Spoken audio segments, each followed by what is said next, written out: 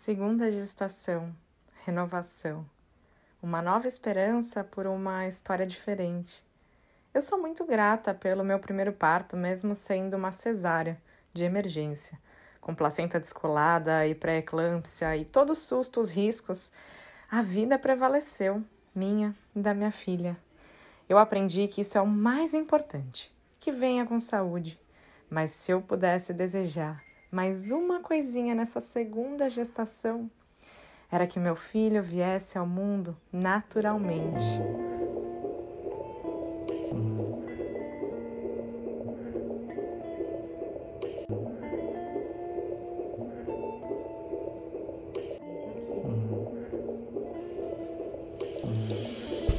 Eu orei, eu intencionei por meses e meses que venha gentil, com a força da natureza, a proteção divina e a minha potência de parir. Assim seja, assim é. E tudo começou.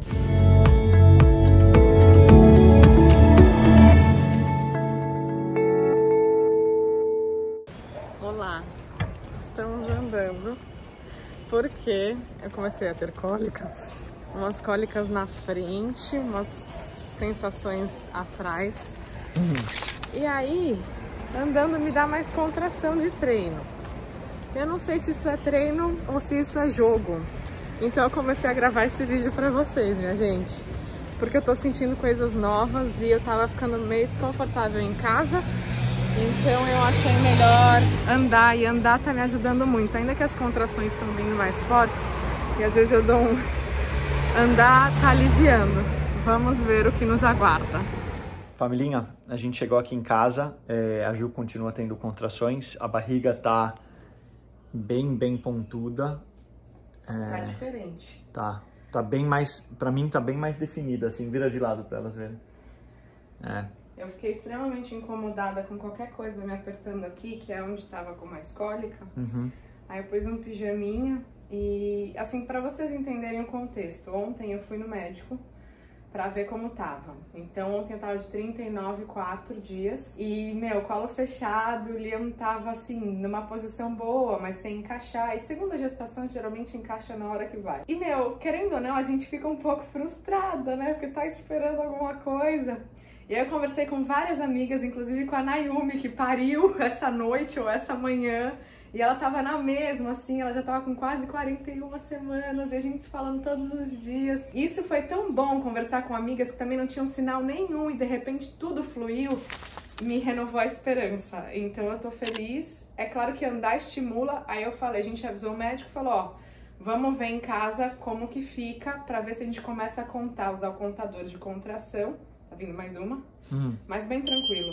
É, aperta, aperta, aperta, aperta e depois... Uh, então a gente vai ver como que fica agora. Minha mãe tá vindo com a Liliu, que a Liliu tá na casa dela, mas pra gente tá almoçar. É, mas as contrações estão vindo com mais frequência agora, eu tô sentindo. É, que... mas acho que o corpo ainda tá de andar. Vamos ver como que ele fica ah. agora. Talvez eu sente na bola um pouquinho. É, a barriga tá bonita.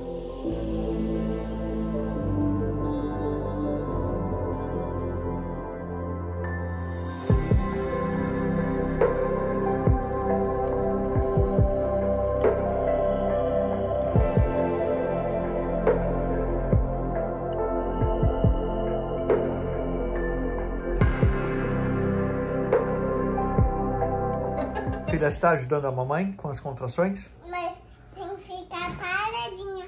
Você tem que ficar paradinha, você não pode pular, né? A gente almoçou, tá tudo igual, gente. Oi, devagar aí. Nada de novo. Continua eu as procurei ficar me. Continuam iguais, mas bem tranquilo e eu procurei me movimentar, né? Porque o que eu percebi é que quando eu deito, esses dias que eu tive algumas contrações de treino, quando eu deitava, parava. Tá. Então eu tô procurando me mexer, andar, lavei a louça, pus na máquina, fiquei pra lá e pra cá, comi pimenta, comi tâmara, estamos lá. Né, ah, que filha? bom. Passeando um pouquinho com o barrigão aqui pra distrair. E tá tudo continuando aqui, gente. Cheguei do passeio já faz tempo, gente. A Lívia me resgatou com a irmã dela. Elas estavam de carro e eu tava começando a ficar um pouco entediada. Daí eu falei, ah, eu acho que eu vou andar. E tava chovendo. Elas, não, não, a gente te pega, a gente dá uma voltinha. Então são duas pessoas que no meio disso tudo que aconteceu esse ano, eu tive um certo contato, elas são muito próximas nossas, né? Então falei, vamos embora. Aí foi muito bom passear, é... a gente conseguiu distrair bastante, viemos aqui para casa, jantamos. Ela tá lá na sala com a Lili, o Krika tá conversando com o Vitor, com o namorado dela, que eles são muito amigos, o namorado da Lívia. E daí tá tudo seguindo na mesma, gente. Não mudou nada desde mais cedo, são nove e meia da noite. Mas geralmente as coisas costumam engrenar mais tarde, né? Acho que quando o mundo já tá escurinho, mais silêncio, vamos ver. Aí eu volto para dar notícias. E daí tive um pouco de síndrome do ninho também. Eu tinha montado o Moisés, que era da Liliu, né, aqui do lado. Daí eu só afastei um pouquinho para abrir essa gaveta deixar aqui. Aqui vão ficar as coisas de troca, né? De higiene, as fraldinhas, e essa gaveta não estava ainda vazia. Então, quando voltar possivelmente do hospital, ainda vai ter fralda, e aí eu monto aqui bonitinho, mas já deixei o espaço aberto. Ai, que beijo gostoso, amor! Dá um abraço no seu, na sua mãe, um beijo no dia. Um abraço! Ai, Oh, que que delícia! gostoso. Você tá muito animada, né? Pra onde você vai? Na casa da tia Lívia. Ela ama. Quem que você vai ver na casa da tia Lívia? A Mel. A Melzinha. Vocês vão me mandar um vídeo de lá? Sim. Da bagunça que vocês vão fazer? Não, a gente não vai fazer Ah, bagunça. bom. Mas se fizer, depois vocês arrumam, né? Te amo, filha. Você acha que ele vai nascer hoje à noite, filha? Não, hoje à noite não é, não é em outubro. Já é, Já é outubro, filha. Já é outubro. Mas não vai, ele não vai nascer ainda. Ele vai nascer quando, você acha? É amanhã? Amanhã será? Eu acho que sim. Será que ele vai nascer amanhã? Eu acho que sim. A gente tá esperando, Lia. Tá bom. Enquanto isso, festa do pijama. É muito fofo, gente, porque assim, a Liliu, a gente já. Ela tem muito, muito convívio, né, com a Lívia. A gente é muito amiga, ela trabalha comigo. E ela já dormiu na casa da Lívia algumas vezes. Isso foi uma coisa legal que a gente fez, né, amor? Tanto de acostumar ela a dormir na minha mãe de vez em quando. Sim, ela, ela E, gosta. e na Lívia, e ela fica super bem. É uma legítima sagitariana aventureira do mundo das Adoro. viagens. Ela pede.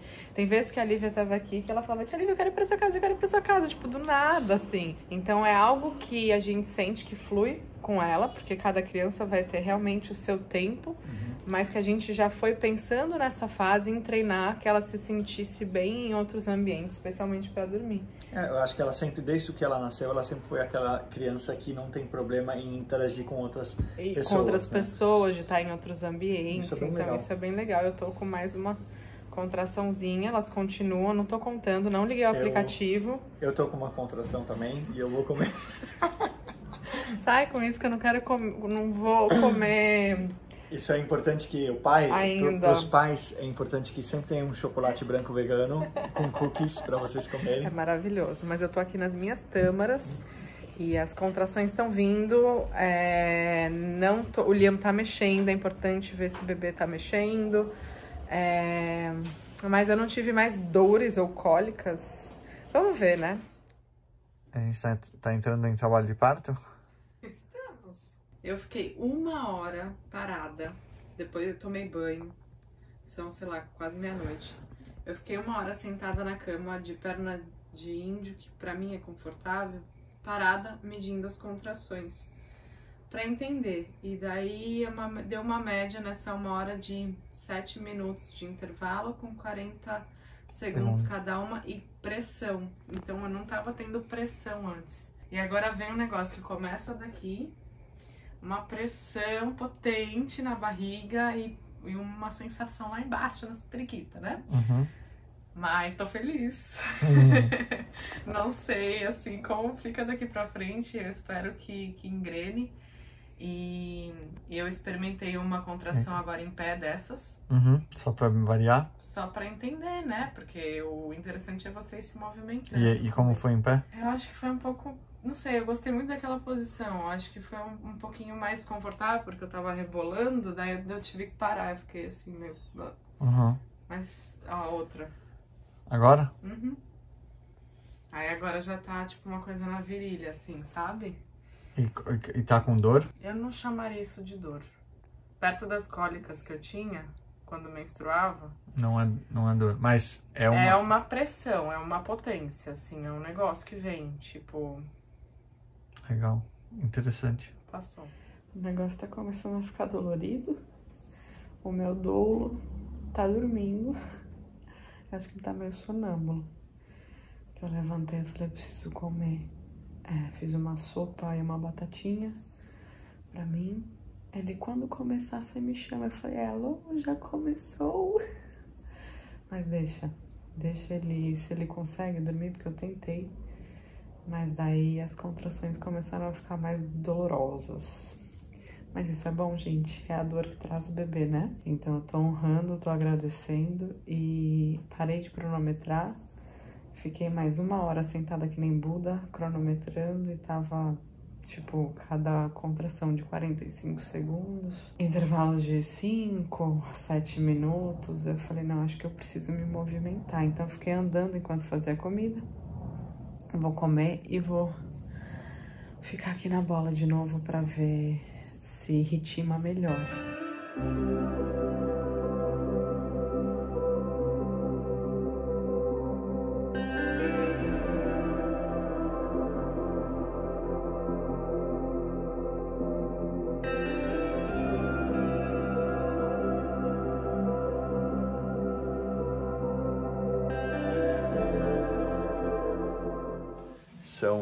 Seis e pouco da manhã. A Ju ela vem tendo contrações a noite toda. Ela conseguiu dormir só uma horinha. É, e agora as contrações estão começando a ficar mais fortes. É, ela está precisando vocalizar a cada, a cada contração que vem. Então a gente já chamou o Bruno, já falamos com a Catarina. Ela está no banho, relaxando um pouquinho, tentando perceber se as contrações vão vir com mais ou menos frequência no banho é, se relaxa ou se começa a ficar mais forte. Mas é, parece que o Liam ele é bem pontual mesmo. Ele vai querer chegar hoje. E hoje é dia 4 de outubro, que foi o dia previsto para o nascimento dele dentro dos cálculos é, que o Bruno fez. Então é muito interessante que ele está de fato é, chegando pontualmente. Eu tô mega animado, eu consegui dormir. A Ju ela me deixou dormir. Eu tô super bem, me sentindo é, bastante disposto agora e animado para esse momento. Eu acho que já já a gente deve estar indo para o hospital e aí começa essa nova aventura. A Ju tá no banho, as contrações estão vindo com mais força, estão vindo com mais frequência, ela tá super bem. É, é, ela tá vocalizando bastante quando vem as contrações, mas tá tudo bem. E agora a gente vai preparar a ida para o hospital. Eu já chamei o Alê, o Ale, nosso amigo, que vai levar a gente pro hospital, que é o nosso combinado com ele. Já estou falando com o Bruno, com a doutora Catarina, com todo mundo. Já avisei a Lívia que a Anelil tá na casa dela. Agora vou avisar a vovó. E é isso. A minha mochila com as coisas está pronta. A Ju tá aqui com frio. Tô. Saiu do banho, agora é... Pode ir de roupão? É, agora é período, pode se quiser. Agora é período entre as contrações, então ela tá fazendo tudo rápido aqui. É, e aí, amor? Tô indo. Tá bem? Eu tô com sono. É, daqui Mas a, eu tô bem. tô daqui a pouco vai passar o sono. Tá escovando o dente, tendo contração? Ah. Ah. É uma benção quando passa. Claro, não, é uma benção quando vem, porque é, ele nasce, né? Hum. Mas é, é agradável quando passa. Tá começando a vir com menos espaço, as contrações, com mais dor. Deve começar em breve. A gente tá indo pro hospital agora. O Ale tá vindo buscar a gente. Uma legal. O Bruno já vai estar esperando a gente no hospital. Tá feliz, amor? Tá vindo. Enquanto a Ju tá aqui atrás se preparando, eu é, vou fazer um relato aqui meu. Eu tô muito, muito, muito animado. É, eu tô feliz que tudo tá correndo dessa maneira, assim, dessa vez, tá sendo bem gostoso. É, eu consegui dormir bastante ontem à noite, a Ju me deixou dormir. Tudo bem que a gente foi dormir bem tarde e tal, mas pelo menos eu não tô sem sono. É, eu, eu tô com aquela sensação de muito, muito animação e alegria no coração. É, preparei tudo que eu precisava, peguei as nossas malas aqui, é, chamei o Alê, falei com os médicos, falei com os avós, com a, a família, é, e, e, agora é, é hora dele chegar.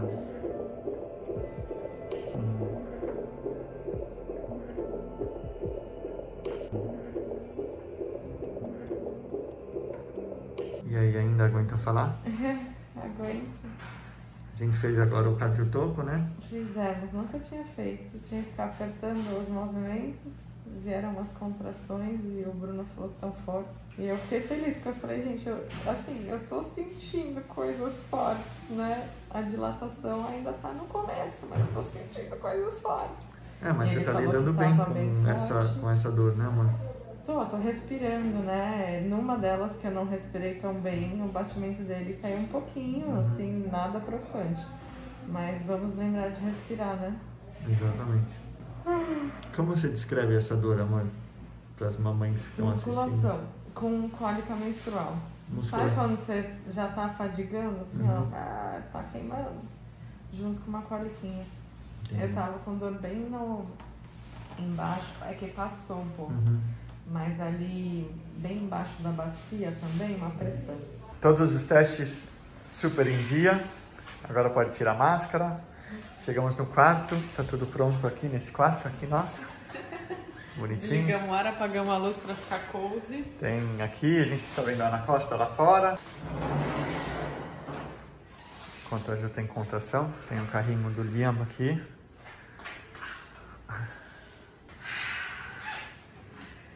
Aqui, aqui eu vou fazer, eu servir a Juliana o café da manhã. Passou? Quer escutar, pai, coração? Uhum. Não. É esse aqui. Uhum.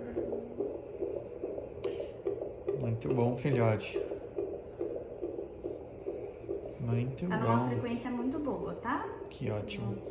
Agora o Bruno acabou de chegar aqui, a Ju já está indo para a Partolândia, mas o Bruno acabou de chegar aqui e ele falou que a gente, porque a gente fez o ultrassom agora, é, todos os exames estão ótimos e parece que o Liam está encaixado já. Eu falei para ele, eu tô quero fazer xixi o tempo todo, eu vou no banheiro, não tem nada, ele é seu filho. É, e no, ultrassom, ali. e no ultrassom mostrou mesmo que ele estava... Que, que bom, ele, filho, é isso aí. E, e a gente fez um teste para ver uh, o líquido amniótico e eu pude ver também o, o no, no, microscópio, não sei o nome daquilo, tipo ah, um negócio que é mostra. Tipo uma lupa muito louca. Uma lupa. Uma visão da Isso. minha alma, literalmente. E eu consegui ver os cabelinhos deles muito louco, cabelinho escuro é, e mas pequenos. O Bruno falou que é porque tá molhado. Tá molhado, pode ser escuro, mas ou pode ser é, mais clarinho. E enfim, então agora a gente está de fato começando. A gente estava com 2 centímetros quando chegou no hospital e agora a gente vai fazer o teste do toque para ver quanto que tá.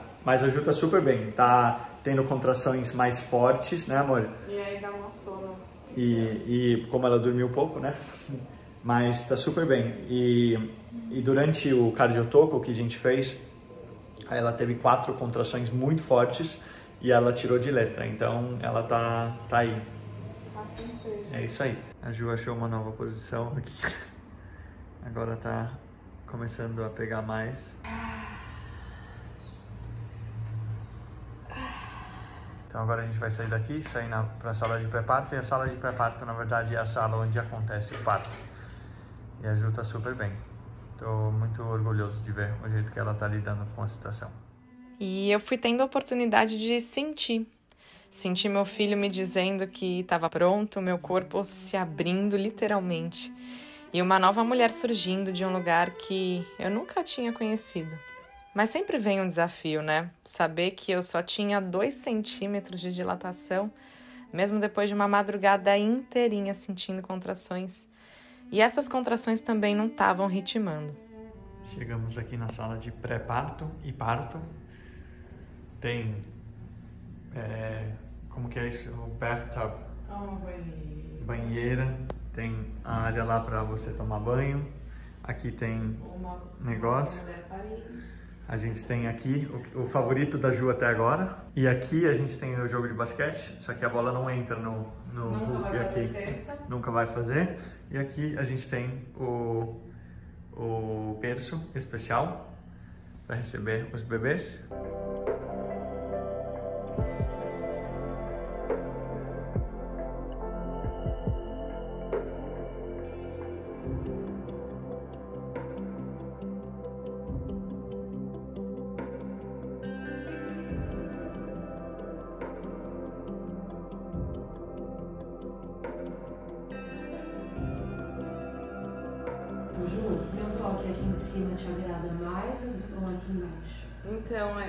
Eu acho que o revezamento deles é o, a alquimia perfeita. Maravilha. E tá doendo mais na frente ou atrás? Mais na frente. E aí, amor? Registra tudo. Ai, ai. Já andou 5 km e meio em 2 minutos. ai, ai. Respira, Ju, respira. Isso. Isso, firme. Ah, ah. Isso aí, amor. Muito bom, amor.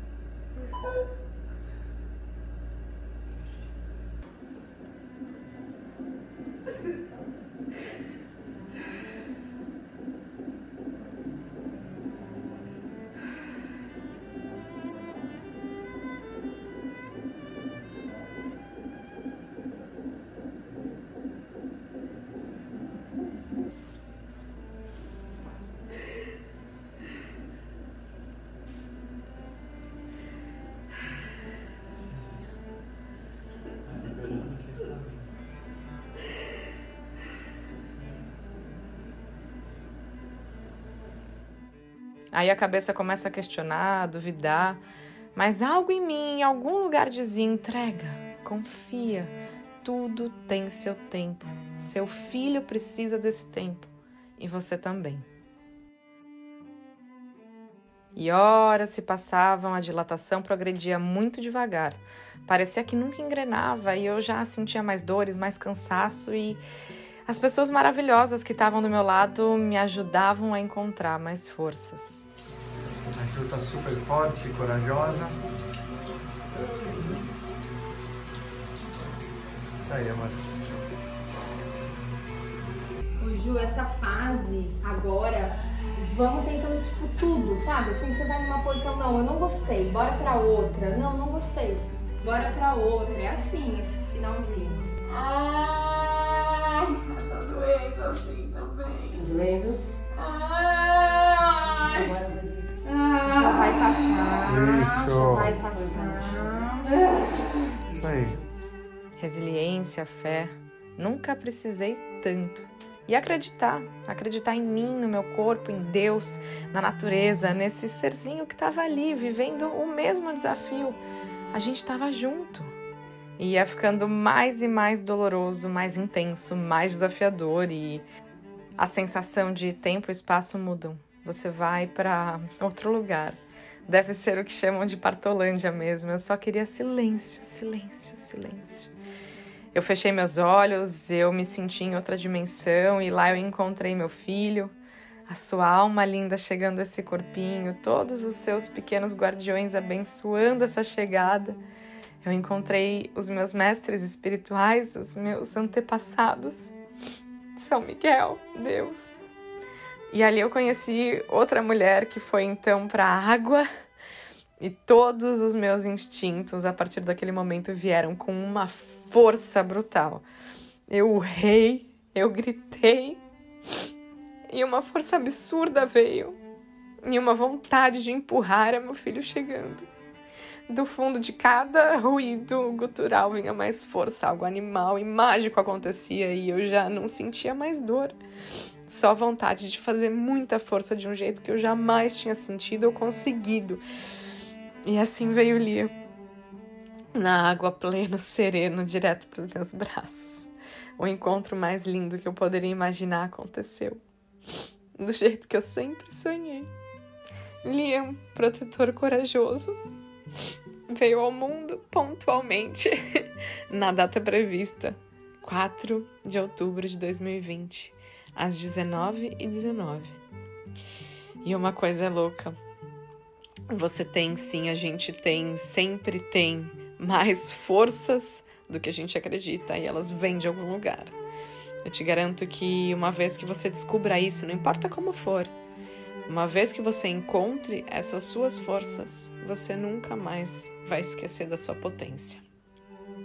Gratidão por vocês fazerem parte disso, desse sonho, dessa vinda, dessa chegada, dessa realização.